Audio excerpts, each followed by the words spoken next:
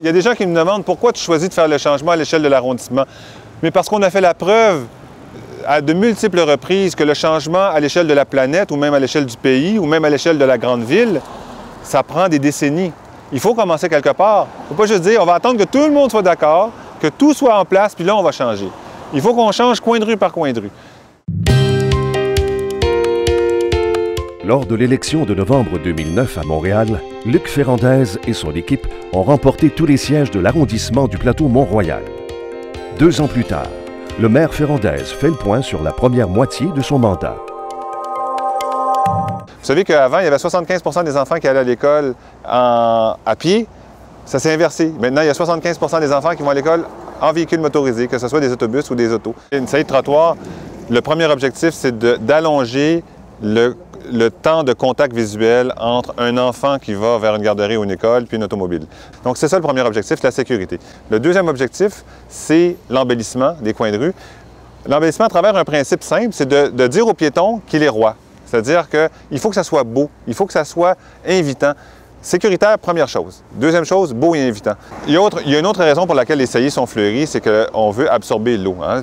Quand il y a trop d'eau de ruissellement, les eaux vont dans les égouts, puis il y a des débordements qui se font à l'usine de, filtration des eaux, des débordements qui polluent énormément. Alors, nous, ce qu'on dit, c'est au lieu d'investir 500 millions dans des bassins de rétention autour de l'usine de, traitement des eaux, partout où on peut, essayer de retrouver le contact avec la terre. Mais, le verdissement, c'est une autre importance, c'est le verdissement de proximité. Il ne suffit pas d'avoir de la grande nature, un grand parc comme le Mont-Royal ou une campagne où tu vas au Mont-Harford ou Mont-Tremblant. Il faut que la nature soit toujours à proximité des gens. Il faut que, tu sais, il y a des études là-dessus, c'est par exemple dans la convalescence. Un hôpital, le temps de convalescence des chambres du côté du jardin est plus rapide que le temps de convalescence des chambres du côté du parking. Mais s'il y a une, deux, trois, quatre, cinq, six jeunes arbres qui viennent d'être replantés, plus ceux-là ici, bien, ces jeunes plantations-là n'apparaissent pas tout de suite. Mais rappelons-nous que nos ancêtres nous ont légué 15 000 arbres sur le plateau. Bien, nous, on a la charge de les remplacer, ces arbres-là, et d'agrandir le domaine forestier. Une de nos premières décisions qu'on a prises, c'est d'augmenter l'équipe qui s'occupe des arbres. Alors, élagage et arrosage. Alors, une des choses qu'on fait que les gens ne se rendent pas compte, on agrandit les carrés d'arbres. Les carrés d'arbres, on en a agrandi 1000. Ça coûte 350 à chaque fois. D'abord, c'est parce que c'est plus beau, ça permet de faire un jardin au pied de l'arbre, mais aussi parce que ça permet de recevoir et d'absorber plus d'eau.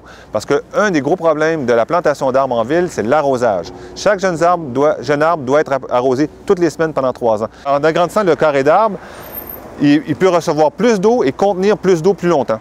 Et c'est ce qui fait que ça peut résister à des périodes de réchauffement comme on a souvent à Montréal. Alors, planter des arbres, arroser les arbres, élaguer les arbres, remplacer les arbres, planter des saillies vertes euh, partout sur les parcours des enfants. Dans 10 ans, ça va être magnifique.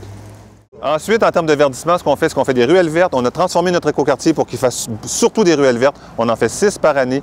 On a des règlements sur le verdissement des terrasses des commerçants on a des, exigences sévères sur toute nouvelle installation, toute nouvelle construction doit arriver avec 30% de verdissement.